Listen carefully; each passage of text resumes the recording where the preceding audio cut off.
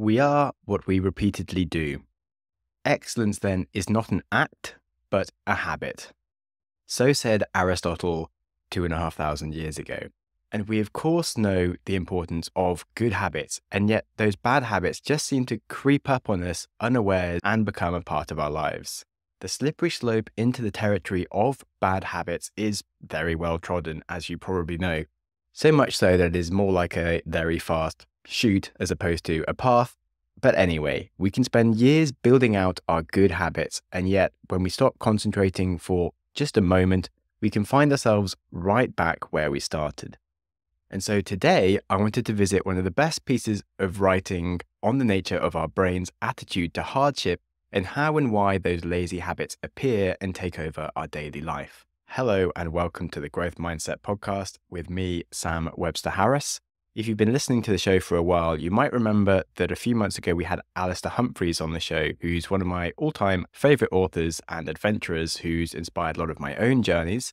And we spoke about his concept of the three stages of flabbiness, how they appear, and in his own polite British mannerisms, he spoke about it merely as just a self reflection with his own issues, rather than to rudely point out his mean sounding thoughts upon others. But sometimes we do all need some tough love. And trust me, his writing here is probably some of the medicine that you need to hear. So, this is a chapter from his book called There Are Other Rivers, and this chapter is called The Three Stages of Flabbiness. There are three stages of flabbiness in life. Each is more restricting and stifling than the one before. They creep insidiously over me like vines until it takes one hell of a struggle to escape their clutches. If I ever feel the saggy symptoms snuffling up on my life, then I know it is time to hit the road. The first stage of flabbiness, and the easiest to fix, is physical flabbiness. It begins when busy schedules, dark winter days, and perhaps eating too much win the devil's foot race against the part of me that knows that exercise isn't a waste of time, but actually makes me more efficient, alert, and happy. Despite knowing this, I am still at times sufficiently idle to let my standards slip and my fitness slide away. Fitness is like chasing a shoal of fish, difficult to master and get on top of, and easy to lose. If I don't go running for a few days, I feel cooped up and ratty. But if I leave it for a few more, the habit seems to be broken. I know I need to run, I want to run, but I just can't be bothered. Flabbiness has begun to set in, slowly, invasively, like cataracts. Before I know it, I'm easing out my belt buckle and blaming my sloth like behavior on the effect of aging. The second stage of flabbiness is mental flabbiness. Give up exercising and stop forcing myself out the front door for a run, and inevitably, my mind starts to sag too. I used to feel alert and inquisitive. I read lots of books, but one evening I come home tired. Flopping down onto the sofa, I reached for the television remote instead. Suddenly, I'm gripped by light entertainment. I realize how pleasant life can be if I stop thinking about it. It's much simpler to exist than to live. I've got a dishwasher and a coffee percolator, and I drink at home most nights with the TV on. I sit slumped in front of the telly, flicking around the channels until I have frittered away enough of my life and it's now time to go to bed. And finally, if I start forgetting any of these things, then I know I'm on the slippery slope towards the third and terminal stage of flabbiness moral flabbiness.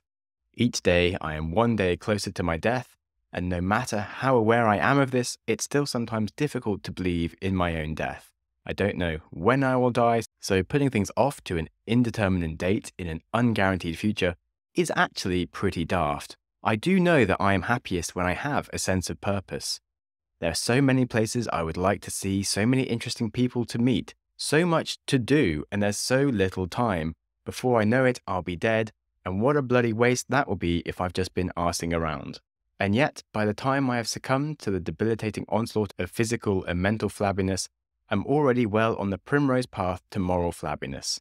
Not only have I conceded my physical health and settled for candy floss in place of my brain, I've accepted that that is actually good enough for my life. I've become comfortably numb. I've decided that friends repeats and a Chinese takeaway are sufficient return for the privilege of being born healthy and intelligent enough in one of the richest and most free countries on the planet. I have a passport to explore the world. I will always be able to find some sort of work. I will never starve to death. It's hard, really, for me to come up with any decent excuses. The choices are just all mine. Life is too brief and too rich to tiptoe through half heartedly, rather than galloping at it with whooping excitement and ambition. And so I explode in rage just in time. It's time to go prowling in the wilderness. It's time to live violently again. It's time to sort my life out. This can be done in two ways. I'll either jump in the nearest cold river for a bracing swim, or I'll plan a trip, set a start date, and come what may, begin. So if you'd like to hear more or read more of Alastair Humphreys, then you can pick up a copy of his book, There Are Other Rivers, where this chapter came from. His other books on adventure are all very much worth a read, and he's a very brilliant author. But for now, we will carry on with the show, because as far as I'm concerned, we haven't yet finished with this concept at hand. So, Alastair Humphreys is a very impressive human being who really hasn't spent a lot of time in the final stage of moral flabbiness. And as he said, this piece of writing was a self reflection. And if you've seen the amount of adventures he's been on, he's clearly reached moral flabbiness a few times and immediately gone on an adventure and fixed his problems. Whereas most people don't necessarily have such a quick fix for this and have some further problems that get caused later on, which are the ones I want to go on to.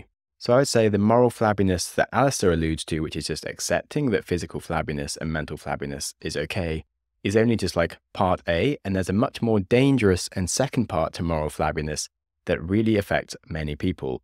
And this is to not only just feel okay with not taking ownership of your physical and mental faculties, but to start blaming other people and your environment or your upbringing for all your problems. Then we not only stop taking responsibility for our actions, but actively blame others for them. This episode is sponsored by NetSuite. When your business gets to a certain size, the cracks do just start to emerge. Things that you used to do in a day can take a week. If this is you, you should know these three numbers 36,000, 25, and 1. What's 36,000? Well, that's the number of businesses which have upgraded to NetSuite by Oracle, the easiest place to streamline accounting, financial management, inventory, HR, and more. 25. NetSuite turns 25 this year. That's 25 years of helping businesses do more with less, close their books in days, not weeks, and drive down costs. And what is the number one for? Well, your business is one of a kind. So you can get a customized solution for all of your KPIs in one efficient system with one source of truth. And right now, for free, you can download NetSuite's KPI checklist. Just go to netsuite.com slash growth mindset. That's netsuite.com slash growth mindset. Growth is spelled G R O W T H to get your own KPI checklist. There's a second part to moral flabbiness, and this is to not only stop taking responsibility for our actions, but actively blame others for them.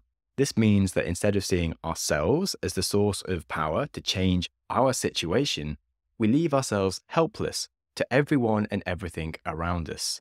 And blaming is very, very easy. We might blame our job, our partner, our parents, our upbringing, the weather, social media, the supermarket, society, capitalism, politics, who knows what else for whatever problem it might be that you have. And yes, there are many things going on in the world or in your history that might make your situation more difficult.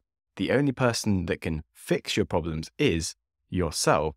And so if you're blaming others, you will lose responsibility and you'll remain fixed within your problems. And that is fixed mindset thinking and not growth mindset thinking. This is where you stop improving and you actually hunker down into just a life of problems and depression.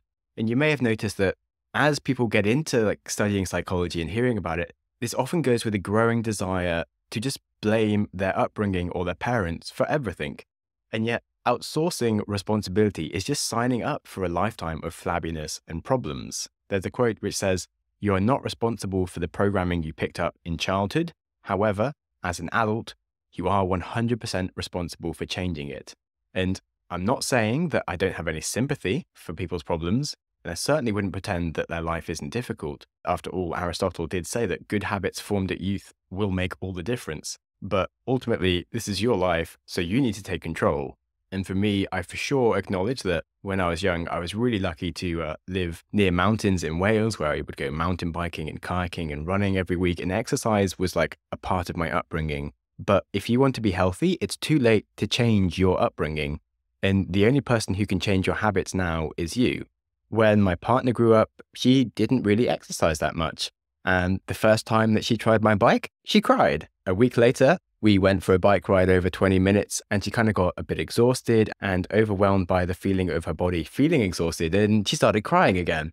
And I've certainly realized that there's a difference between people who did a lot of exercise when they were young and you get kind of used to the feeling of exhaustion and like seek it more. Whereas if you haven't grown up with exercise, for example, the idea that your body feels worn out or bad is not something that you would expect is a good thing. And it takes a while to kind of rewire your brain. But for my partner, she just took it slowly and did like shorter rides for a while. And now she does bike to work most days. We live in Amsterdam and it's very easy to do that. And yes, it was a process of six months, but there's nothing saying that because she didn't exercise when she was young, that she can't now start exercising. And this was just one example, but there are many different ways to approach fixing your flabby habits and your flabby thinking and working out why they happen and what you can do about them. And of course, I'm personally a huge fan of Alastair's approach of just jumping into a freezing body of cold water and shocking your system or for just signing up for a really big adventure where you put yourself out of your comfort zone and escape your day to day routines and teach yourself that you can do hard things. But there are other options, such as therapy, meditation, journaling, taking psychedelics under controlled settings has really shown to help people a lot, or simply finding a way of making healthy habits more enjoyable, where you spend time having fun with people that you like, doing something that benefits you. One thing to look into is certainly reducing your screen time and questioning if you really need so much social media or Netflix in your life. I think it's really cool to try and schedule one or two nights a week where you just deliberately don't let yourself take the lazy option of watching TV and instead try and find a way to play a game or read a book or do some painting or writing or music because it's so enjoyable to use the creative and social muscles that you have and practice them and if you do feel awkward about abandoning your social media, I would really, really advise anyone to just have a detox to show yourself that you don't need it every day in your life. Obviously, different things work for different people, but do take some time to write out some ideas of how you can make some healthier habits for you more fun. If you want to cook more of your own healthy food, then pencil in some dates to have some friends over for dinner and spend some time researching recipes that you think you'd enjoy. Or try signing up to a challenge with a friend.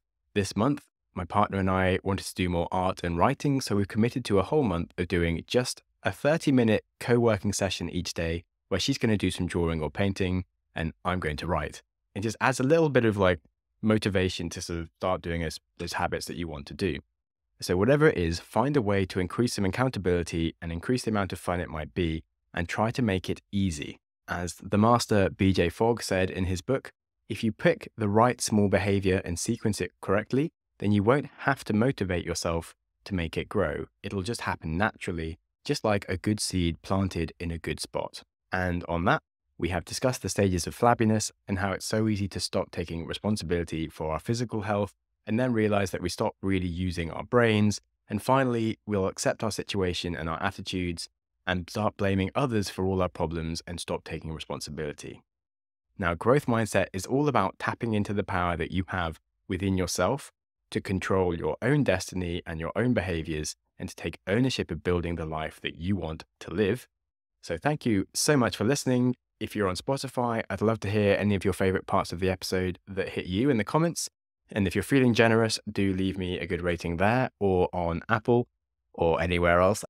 Please have yourselves an awesome week. And remember, if you want to enjoy your life, that starts with enjoying today because life is to be enjoyed because life is to be enjoyed and that's not something that you should put off for the future. So be kind to yourself, and whilst you're at it, be kind to someone else too.